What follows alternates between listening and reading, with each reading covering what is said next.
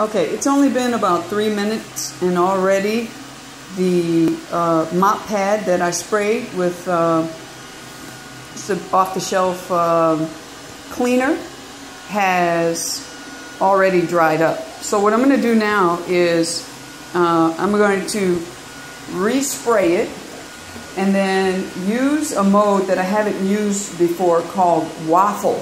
And what that essentially is, is uh, spot cleaning. So I'm going to stop it. I'm going to use that in the area in front of the sink where there, where it's lots of water, you know, spots and where it's, it looks the worst and see how well it works um, with the spot cleaning and the uh, mop. And there's Honey making a guest appearance.